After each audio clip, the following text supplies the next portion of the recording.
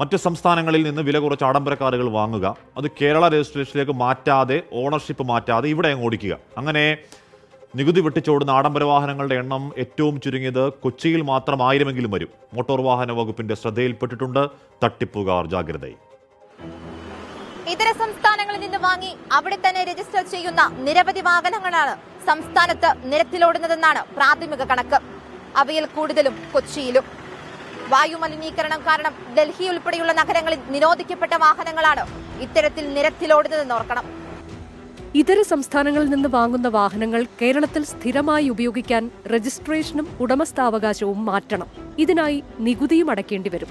നികുതി വെട്ടിപ്പിന് വേണ്ടിയാണ് ഉടമസ്ഥാവകാശം മാറ്റാതെ തന്നെ മറ്റു സംസ്ഥാനങ്ങളിൽ നിന്ന് ആഡംബര കാറുകൾ വാങ്ങി ഉപയോഗിക്കുന്നത്.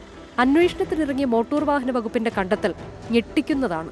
എറണാകുളം ജില്ലയിൽ മാത്രം ആയിരത്തിലധികം വാഹനങ്ങൾ നിലവിൽ നിരത്തിലുണ്ട്.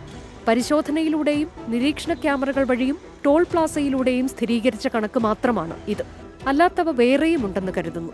കോടികളാണ് സംസ്ഥാന ഖജനാവിന് നഷ്ടം. ഈ വണ്ടികൾ ബേസിക്കലി ഡൽഹിയിൽ പൊല്യൂഷൻ നോംസ് സ്ട്രിഞ്ചന്റ് ആയതുകൊണ്ട് അവിടെ പത്ത് വർഷത്തിന് മേലുള്ള വാഹനങ്ങൾ പുറന്തള്ളപ്പെടുന്നതും അതുകൂടാണ്ട് ഇപ്പോൾ ഭാരത് സ്റ്റേജ് ത്രീയും ഭാരത് സ്റ്റേജ് ത്രീ പെട്രോൾ വണ്ടിക്കും ഭാരത് സ്റ്റേജ് ഫോർ ഡീസൽ വണ്ടികൾക്കൊക്കെ ഒരു ടെമ്പററി ബാനൊക്കെ ഉണ്ടെന്ന് അറിയണം. അപ്പോൾ ഇങ്ങനെയുള്ള വാഹനങ്ങൾ ഡൽഹിയിൽ ഉപയോഗിക്കാൻ പറ്റാത്തൊരവസ്ഥ വരുമ്പോൾ അവരുടെ അവിടെ നിന്ന് വാഹനങ്ങൾ പുറന്തള്ളപ്പെടുന്ന ഒരവസ്ഥ വന്നിട്ടുണ്ട്. അപ്പോൾ അങ്ങനെയുള്ള വണ്ടി വണ്ടികൾക്ക് വില തീർച്ചയായിട്ടും കുറയും. നമ്മുടെ കേരളത്തിൽ ഉപയോഗിക്കുന്ന കേരള വണ്ടികളെക്കാട്ടും വളരെ വില വ്യത്യാസം അവിടെ നോർത്തിൽ നിന്ന് വരുന്ന വണ്ടികൾക്ക് കിട്ടുന്നതുകൊണ്ട് അതൊരു അഡ്വാന്റേജായിട്ട് പലരും നോർത്തിൽ നിന്ന് പോയിട്ട് ഈ അന്യ സംസ്ഥാനത്ത് പോയിട്ട് രജിസ്റ്റർ ഈ വണ്ടികൾ എടുക്കുന്നു. ഡൽഹിയിൽ വായുവിന്റെ ഗുണനിലവാരം കുറയുന്നതിനാൽ B S three petrol B S four diesel കാറുകൾ നിരത്തിലിറക്കുന്നത് താത്കാലികമായി നിരോധിച്ചിട്ടുണ്ട്.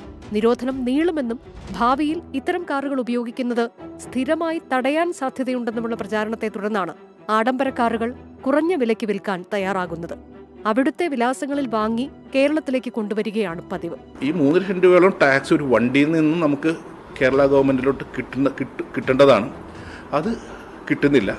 കിട്ടാതെ ഇത് ഇവർ ചെറിയ രീതിയിൽ അവരുടെ പേരിൽ തന്നെ നോർത്ത് നോർത്തിൽ ഏതെങ്കിലും അഡ്രസ്സ് ഉണ്ടാക്കി രജിസ്റ്റർ ചെയ്യുന്ന രീതിയിലും കണ്ടിട്ടുണ്ട്. അപ്പോൾ ആ ആ രീതിയിലുള്ള കാര്യങ്ങളും നമ്മൾ ശ്രദ്ധ എൻഫോഴ്സ്മെന്റ് സമയത്ത് ചെക്കിംഗ് സമയത്ത് കണ്ട- കണ്ടിട്ടുണ്ട്. വാഹനങ്ങൾ രജിസ്ട്രേഷൻ മാറ്റാതെ നിരത്തിലിറക്കുമ്പോൾ നികുതി മാത്രമല്ല പ്രശ്നം. ഏതെങ്കിലും ഒരു കേസിൽ അന്വേഷണം നടക്കുമ്പോൾ വാഹനങ്ങളുടെ വിലാസം കൃത്യമായി ലഭിച്ചില്ലെങ്കിൽ അന്വേഷണവും പാതിവഴിയിൽ മുടങ്ങും. നികുതി വെട്ടിപ്പ് നടത്തുന്നവർക്കെതിരെ കർശന നടപടി സ്വീകരിക്കണമെന്നാണ് പൊതുജനങ്ങളുടെയും അഭിപ്രായം. ആഡംബരക്കാർ മാത്രമല്ല മറ്റ് വണ്ടികളും അന്യ സംസ്ഥാനത്ത് നിന്ന് ഇവിടെ വന്നിട്ട് ആ പരിധി ഏഹ്, കപ്പുറം ഓടിയ അവർ തീർച്ചയായിട്ടും നടപടിക്ക് വിധേയമാക്കണം. അവരുടെ അടുത്ത് നിന്ന് ടാക്സും മറ്റ് സംവിധാനങ്ങളും ഈ അനധികൃതമായിട്ട് ഓടുന്നതിന്റെ പിഴയും ഈടാക്കണം. കാരണം മറ്റ് കർണാടക സ്റ്റേറ്റ് നമ്മുടെ സ്റ്റേറ്റിൽ നിന്ന് കർണാടകയിൽ പോയി ഓടണമെങ്കിൽ ഇതിന്റെ എത്രയോ ഇരട്ടിയാണ് മേടിക്കണത്. കേരളം മാത്രം ഈ ഉപഭോക്തൃ സംസ്ഥാന കേരളം മാത്രം അതിൽ വിട്ടുവീഴ്ച ചെയ്യേണ്ട ഒരു കാര്യവുമില്ല. ഈ വാഹനങ്ങൾ കേരള രജിസ്ട്രേഷനിലേക്ക് മാറ്റിയാൽ കോടികൾ സർക്കാരിലേക്ക് ടാക്സ് ഇനത്തിൽ ലഭിക്കുമെന്നാണ് മോട്ടോർ വാഹന വകുപ്പിന്റെ കണക്കുകൂട്ടൽ. ഇനിയും നികുതി വെട്ടിപ്പ് നടത്തി നിരത്തിലിറങ്ങാനാണ് വാഹനങ്ങളുടെ തീരുമാനമെങ്കിൽ കടുത്ത നടപടിയിലേക്ക് നീങ്ങാനാണ് മോട്ടോർ വാഹന വകുപ്പ് ഒരുങ്ങുന്നത്. ക്യാമറാമാൻ അഭിലാഷ് പള്ളിക്കരയ്ക്കൊപ്പം അൻമരിയ സണ്ണി ട്വന്റി കൊച്ചി.